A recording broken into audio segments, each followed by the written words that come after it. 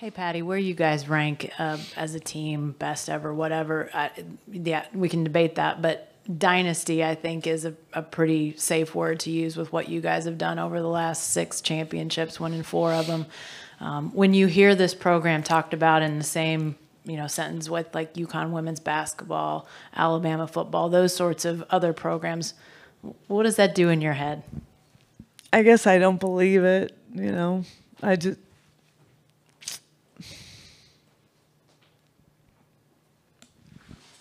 Nicole? I don't know how to answer. I just I I don't think that way. Go ahead, Nicole. Um, Nicole Auerbach, The Athletic. Patty, you've seen the final out five times. Um, when when this one happens, what's going through your mind? What feels different? What feels the same? What's that moment like? Well, first I'm like, what a fool! I just blew it. Here comes Texas coming back, and I'm trying to give Jossie a hurrah, and I'm like, I shouldn't have listened to JT Gasso tell me to do that.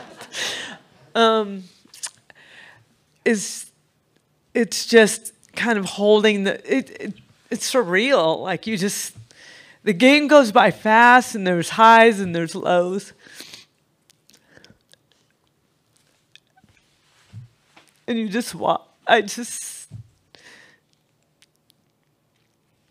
I sit back like a fan. That's what I do. And I just sit and watch. And it's just prideful to see these guys do that, to see them get emotional like I am right now. And they don't realize how good they are maybe I don't realize how good they are. Everybody asks us, and we just play. We just play, and we love to have fun and love to play. So when you ask me to compare, you ask me what it feels like, it feels like something we do every day at practice. James. James Hale, CBS Sports Radio in Oklahoma City. Patty, was great listening to Josh and see how far she's come on your program. You have all, all your super seniors, all your seniors play a huge role on your team this year. Even Elam's a captain for the second straight year, and she's playing, you know, so uh, those talk about great leaders for you. Wouldn't you agree that they did a great job for you this year? Yeah, this. I didn't mean to make you cry. Again. No, no, you did not make me cry. It made me. Um, I should be the only coach in the country that's not crying right now, right? Because every other coach sits up here with and listens to their story of their kids. Um, but I know what I'm losing. I'm losing five superior super seniors. Um, all have different traits, all have done different things, but they all stepped up in this tournament like crazy. Um, Jana Johns got hot. Taylon Snow got hot at the right time. Hope took the reins um, and carried us for a while. Jossie is Jossie.